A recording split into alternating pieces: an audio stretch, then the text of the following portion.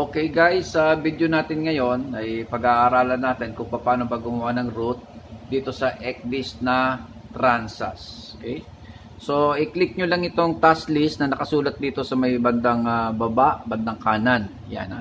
Task list. Tapos piliin nyo yung route planning. Dito, pwede nyo piliin kung mag gusto nyo i-load yung mga dati ninyong mga route. So, click nyo lang yan, tapos mamili na kayo dyan. Once na pumindot kayo dyan, maloload na siya dito. Pero kung gagawa kayo ng bago, piliin nyo lang itong new. Yan. So kung napansin nyo, nung kinilik ko yung new, nagkaroon ng kulay orange na cross siya. No? So pagka, ayan bawa, ditong waypoint lalagay ko, click ko lang dyan, left click, tapos left click, left click, so ganyan ang paggagawa ng route left click, yan, left click lang. Ngayon, kung gusto kong uh, burahin ito, so, ipatong ko lang yung box na yan na kulay orange, kung buburahin ko yan, left click at right click lang yan. Left click, right click. Left click, right click. Kung gusto ko magdagdag dito, sa leg na to, itatapat ko lang yan, tapos left click, tapos pwede ko nang hatakin yan. No? Left click, Hmm. Left click, left click, magkakaroon na siya. Left click, left click, oh, magkakaroon na siya. No? So, ganun lang yan. Kung gusto ko naman magdagdag dito sa dulo, dalawang left click lang. Ilagay mo yan siya sa dulo, tapos dalawang left click. One, two. Yan, makakadagdag ka na. So, pag tapos ka na, wag, wag, hindi ka na magdadagdag dito, i-right click mo lang. Dalawang right click, yan. Ha? Ngayon, ah, uh, kung gusto mo tong i-reverse, ito yung uh, yung ano niya, yung uh, reverse function niya. I-click mo itong reverse na ito. Ah, yan. Reverse. Once na kinlik mo yan, yan, nare-reverse siya. Oh. oh. So, ito, 0. Yon number 10.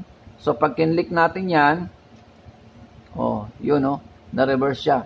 0, 1, 2, 3, 4, 5, no? Nare-reverse siya. So, ganyan ang pagre-reverse. Ngayon, uh, kailangan niya pagkatapos niya, pag nagawa mo na, kailangan mo siyang i-check root kasi kung hindi hindi mo siya ma-monitoring pag hindi mo siya check root. Okay? Ito ngayon yung function niyan. I-click mo tong check root na ito. Tapos i-click mo to. Yan. Tapos pag accept may na tinanggap mo na yan, okay na sa'yo yan, accept root, checking result, ito, itong check na to, i-click mo lang yan.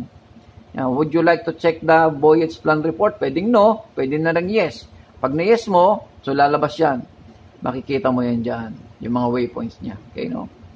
Tapos, i-click mo lang ito, labas na yan.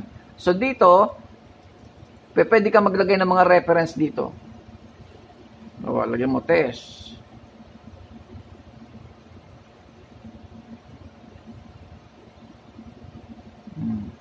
Yan yung mga reference sa bawat waypoint.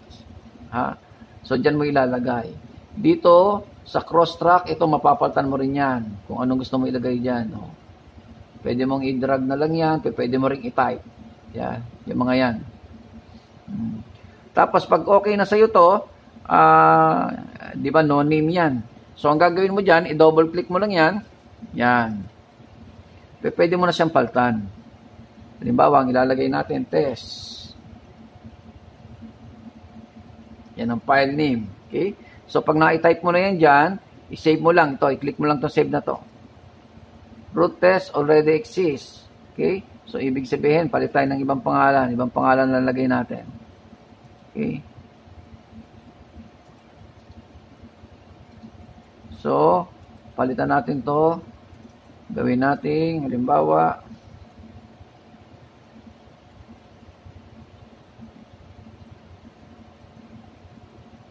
testing. Yan. So, pag na-type na natin, ito, save, yan, save, testing, saving. Okay. So, mga kung mapapansin nyo, basta meron yan asterisk dito, ibig sabihin hindi pa yan nakasave. Kailangan i-save mo yan, no? Kaya tingnan nyo, nakabold pa rin yung save natin dito. Basta, tandaan nyo, basta yan eh, may asterisk yan, kailangan i-save nyo yan. So, pag sinave nyo yan, yan. Once na wala na yun doon, Yon, ibig sabihin naka-save na yon. So na-root check na natin siya, na-save na natin siya. So pwede na natin siyang ilagay sa uh, monitoring. Okay. So pag i-monitor mo lang, ito, click mo tong monitor na to. Magmo-monitoring na yan. So i-check daw natin uli. Save.